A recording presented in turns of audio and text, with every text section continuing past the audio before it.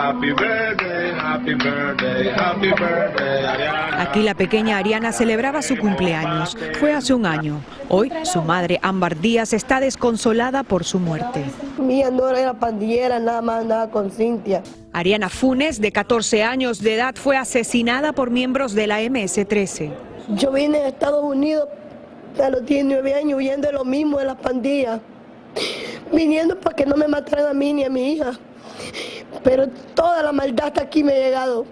Las autoridades buscaron a la joven durante tres semanas. El miércoles pasado hallaron su cuerpo descompuesto en un arroyo en Maryland. La autopsia reveló que le habían atacado con un machete y un bate de béisbol hasta causarle la muerte. Que me la mataron con un bate, con un machete.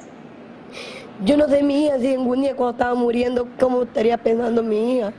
Yo me pongo a pensar y me traumo. Me traumo como mi hija sufrió.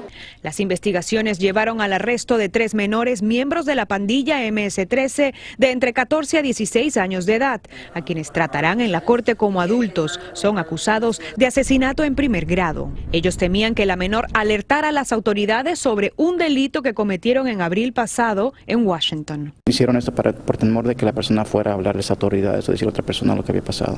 La Oficina de Control y Prevención del Crimen en Maryland indicó que en abril hicieron más de 100 arrestos relacionados con las pandillas juveniles y las drogas. La amenazaron y la vine a traer. Ella vino de 11 años a este país. Nomás tuve la dicha de tenerla tres años conmigo. Las autoridades indican que la menor estaba vinculada, pero no militaba en la pandilla.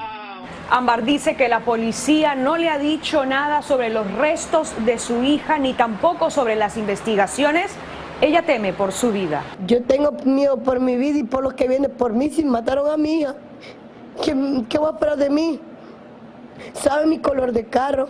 En Maryland, Claudio Uceda, Univision.